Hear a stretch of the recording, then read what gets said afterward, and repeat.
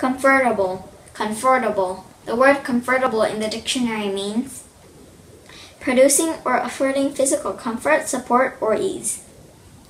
Let's look at some pictures.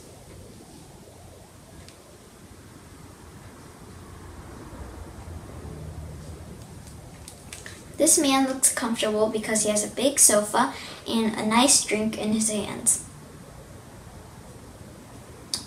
Although no one is in this bed that looks comfortable, it looks very comfortable.